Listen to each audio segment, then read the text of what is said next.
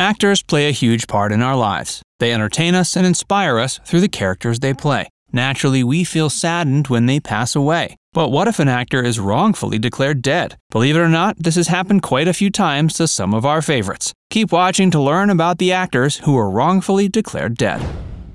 Scott Baio Scott Baio is best known for his work on Happy Days and a spin off show called Joanie Loves Chachi. He was born on September 22, 1960, in New York.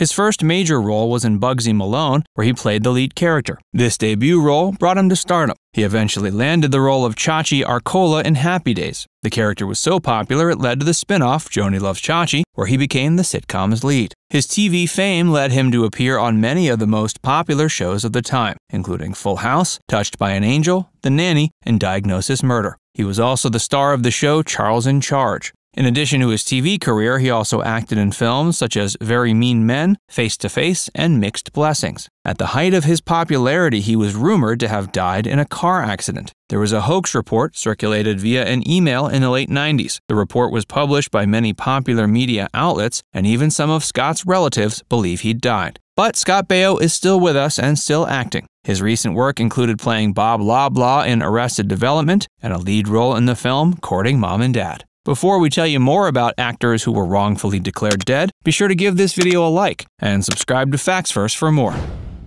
Abe Vigoda Abe Vigoda was the subject of several death hoaxes. He was born in New York, February 24, 1921. Following his military service in the Second World War, he began studying acting at the American Theater Wing. He started his career in theater, appearing in plays such as The Man in the Glass Booth and Tough to Get Help. One of his earliest film roles also became his best known film role. He played Tessio in The Godfather. His other well known character was Detective Phil Fish, whom he played in the popular sitcom Barney Miller. He reprised the role in a spin off called Fish. Abe Vigoda was mistakenly declared dead in 1982 by People magazine. He found this hilarious and he posed for a photograph sitting up in a coffin. This photo was published in Variety magazine, and in 1987, a reporter referred to him as the late Abe Vigoda and later apologized for his mistake. His death rumors became the subject of many jokes. His character Otis in the film Good Burger was mocked because of his advanced years. In fact, in 2001, a website was created solely to discuss whether Abe Vigoda was still alive or dead. He continued acting well into his 80s, appearing in a Snickers commercial that was aired during the 2010 Super Bowl alongside Betty White. He passed away at 2016 at the age of 94. Peter Boyle Peter Boyle was born on October 18, 1935 in Pennsylvania. His first major film role was as the titular character in the 1970 film Joe. His other popular film roles included Wizard in Taxi Driver, Eagle Throneberry in Steelyard Blues, and Dillon in The Friends of Eddie Coyle. He also played the monster in Mel Brooks' hit comedy film Young Frankenstein. The 70s and 80s were great for his film career. These included the television film Tail Gunner Joe, for which he received an Emmy nomination. He also appeared in Hardcore, Where the Buffalo Roam, Yellowbeard, and Johnny Dangerously. In 1990, he suffered a stroke, which kept him immobile for six months. During this time, there were wrongful reports of his death. Luckily, he managed to recover and continued acting. In the 90s and 2000s, he acted in great films such as The Shadow, Dr. Dolittle, Monsters Ball, and the animated film The Cat Returns. His most notable role on TV was as Frank Barone in the sitcom Everybody Loves Raymond. This made him a huge TV star, and Frank became one of the roles he'd always be remembered for. He passed away in 2006 at age 71.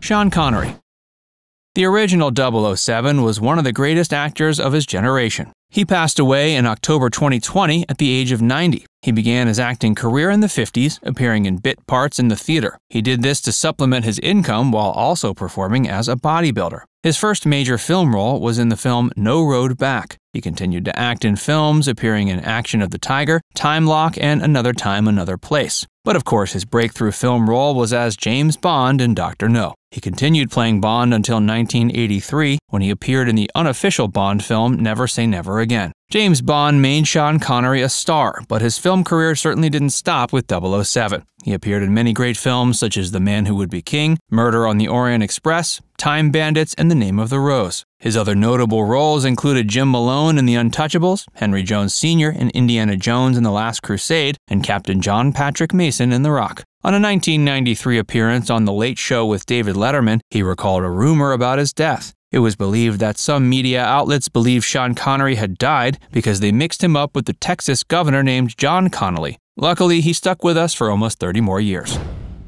Gene Hackman.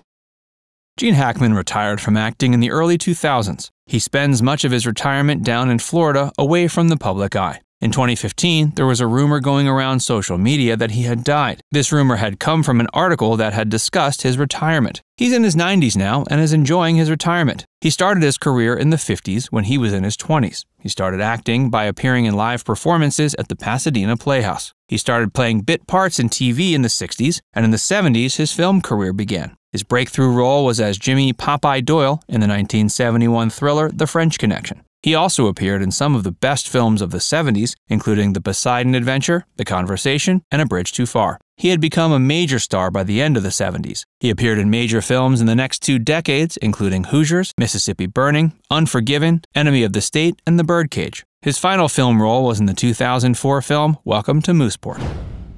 Al Pacino.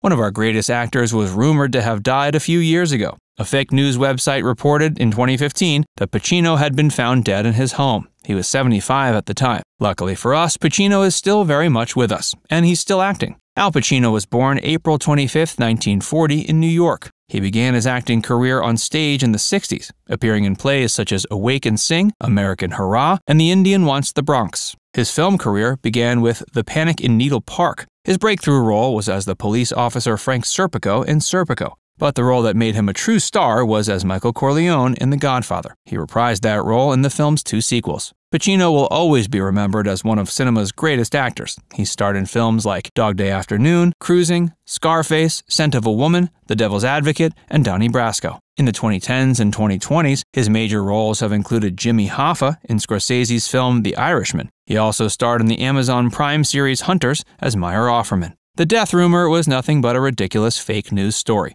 Pacino fans can expect to watch him in the Ridley Scott film House of Gucci and the drama American Traitor The Trial of Axis Sally. Now it's time to hear from you. How do you think these kinds of rumors start? Let us know in the comment section below. And before you go, make sure you give this video a like and subscribe to Facts Verse if you haven't already. Click the bell icon to stay updated on all our latest content.